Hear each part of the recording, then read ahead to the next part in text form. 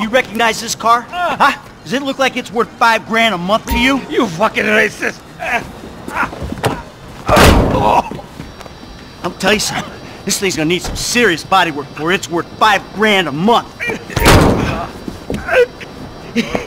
Ah, I agree to financing. I have his signature. Yeah, did he agree to have some punk break into my fucking house? I, I don't know. Oh, I, That kid might be a fucking idiot. But you are a fraudulent scumbag piece of shit. Ugh. Don't make me have to come back here. Uh,